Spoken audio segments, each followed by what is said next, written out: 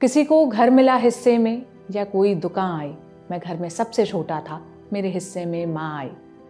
माँ पर किसने क्या कुछ नहीं लिखा, लिखने वाले तो दुनिया तक लिख गए। ऐसे थे मुनव्वर राणा। उर्दू गज़ल में माँ पर सबसे ज़्यादा लिखने वाले मुनव्वर राणा। अब हमारे बीच नहीं रहे। मशहूर शायर मुनवर राणा का 14 जनवरी की रात दिल का दौरा पड़ने की वजह से निधन हो गया। वो कई दिनों से बीमार थे। उन्हें दिल और किडनी से संबंधित कई समस्याएँ हो गई थी। उनका लखनऊ के पीजीआई में इलाज चल रहा था, लेकिन रविवार की रात उनके निधन की बुरी खबर सामने आई। मुनवर राणा की तबीयत पिछले साल भी काफ़ी बिगड़ गई थी। तब भी उन्हें लखनऊ के अपोलो हॉस्पिटल में भर्ती कराया गया था। तब सेहत इतनी बिगड़ गई थी कि मुनवर को वेंटिलेटर पर रखना पड़ा था। बाद में स्थिति कुछ सुधरी, लेकिन कुछ समय बाद फिर तबीयत बिगड़ने लगी। मुनव्वर राणा का जन्म उत्तर प्रदेश के रायबरेली में 26 नवंबर उन्नीस सौ बावन को हुआ। मुनव्वर अपने शायरियों के लिए, कविताओं के लिए पहचाने जाते थे। उर्दू के अलावा हिंदी और अवधि भाषाओं में लिखते थे। मुनव्वर ने कई अलग अलग शैलियों में अपनी गज़लें प्रकाशित की। राणा की किताब शहदाबा को 2014 में साहित्य अकादमी पुरस्कार भी मिला। इसमें कविताओं और शायरियों का संग्रह था। हालाँकि 2015 में असहिष्णुता बढ़ने के नाम पर उन्होंने अवार्ड वापस कर दिया था। इसके अलावा मुनव्वर को अमीर खुसरो पुरस्कार, मीर तकी मीर पुरस्कार, डॉक्टर जाकिर हुसैन पुरस्कार और सरस्वती समाज पुरस्कार भी मिले हैं। ये सभी साहित्य जगत के बड़े पुरस्कार माने जाते हैं। मुनव्वर राणा के पाँच बच्चे हैं। उनकी बेटी सुमैया समाजवादी पार्टी के साथ जुड़ी है। दूसरी बेटी फौजिया कांग्रेस में है।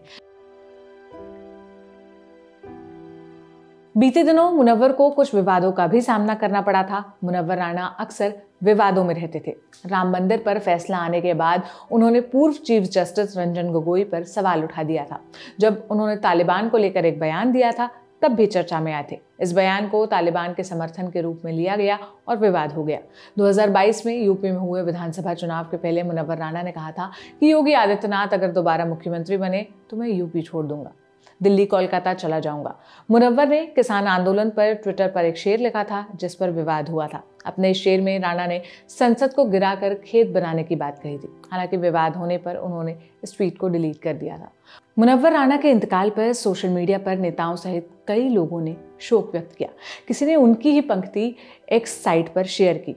वो पंक्ति है तो अब इस गाँव से रिश्ता खत्म होता है, फिर आँखें खोल ली जाए कि सपना खत्म होता है। वहीं कांग्रेस नेता जीतू पटवारी ने लिखा, मिट्टी में मिला दे कि जुदा हो नहीं सकता, अब इससे ज़्यादा मैं तेरा हो नहीं सकता।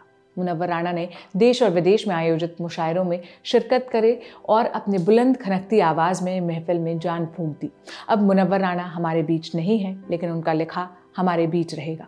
मुनवर राणा की कुछ खूबसूरत पंक्तियों से हम उन्हें अलविदा कहते हैं। मेरी मुट्ठी से ये बालू सरक जाने को कहती है कि अब ये ज़िंदगी मुझसे थक जाने को कहती है। जिसे हम ओढ़ कर निकले थे आगाज़ जवानी में वो चादर ज़िंदगी अब मसक जाने को कहती है। कहानी ज़िंदगी की क्या सुनाए अहले महफिल को, शक्कर घुलती नहीं और खीर पक जाने को कहती है। मैं अपनी लड़क राजहट से परेशान हूँ, मेरी पोती मेरी उंगली पकड़कर दूर तक जाने को कहती है। आपके लिए ये सारी जानकारी मेरी साथी सुप्रिया और अभिषेक ने जुटाई थी। मेरा नाम सोनल है।